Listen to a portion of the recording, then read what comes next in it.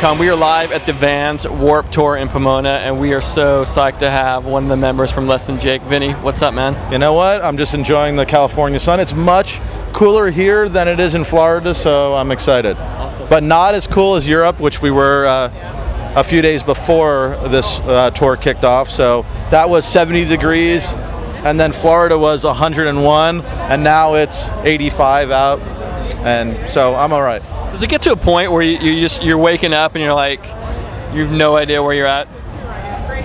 No, I'm going to be honest with you. I know where I'm at. We're in Pomona. It's great. Awesome, awesome. So tell me a little bit about the, the band's inception. How did you guys get started? Um, were you the kind of the, the ringleader in this act? Well, you know, I, I think that uh, I definitely uh, spearheaded a lot of the ideas and a lot of the art and a lot of uh, the songs for Less Than Jake, but I think that it's always a collective thing with our band. I think that I firmly believe in that the the sum of the parts, you know, and I think that Less Than Jake wouldn't be Less Than Jake if all the people in the band weren't actively uh, participating. But I think that you know, with Less Than Jake, we started in a college town, Gainesville, Florida, and it just was friends, a natural progression of just kind of like fucking off a bit, like between the weekends and at nights and just playing and started to do shows and it sort of uh, expanded little by little by little by little and now we're here 16 years later. Any theory, Vinnie, on, on why Florida has kind of spawned so many great bands? I don't know. It's a it's very much the sister state to California, man. I mean, why why? I don't know. I think maybe it's uh, the extreme sports aspect of it, man. I'll be honest with you. Surfing, skating, you know, I think that breeds music and it sort of breeds that uh, the mentality of a little bit outside the box. So maybe that's it because California has a similar yeah, yeah. vibe to it. Uh, Go ahead. Uh, well, I was going to say we're we're operating out of out of Hollywood, California, right? This is where the site runs out of. Um, and as I'm sure that you're aware of, Hollywood lost you know three pretty major iconic figures: Ed McMahon, Fawcett, and uh, of course Michael Jackson. Yeah. Um, which brings me to my next question for you, Vinnie: Is do you yourself think about legacy at all and how you want to be remembered? Does that come into? Of course. I mean that's it, sort of always kind of goes in the back of people's brains. I, I don't obsess over it, and I'm not really that sort of. Uh, uh, it doesn't weigh on me that hard, but sometimes I kind of sit back and go, uh, look at the body work that I've done and, and, that we've done as a band, and I wonder if it will stand up to any kind of test of time. I mean, it's been 16 years since we've been a band, so that's a decent amount, but I often wonder if it is enough to sort of, you know, uh, be you know, uh, around for, for two decades, three decades to come. I mean, look at the Misfits. The Misfits probably are bigger now than they ever were when they were an active band. Right. That's legacy, man. Is there an ingredient in the in the recipe for longevity that, that you can point to that you know why is it that, that out of a million bands you know one percent are still surviving and, and the rest the rest fall off the cliff I mean, what, what is it you know what I mean I think that Hey, man.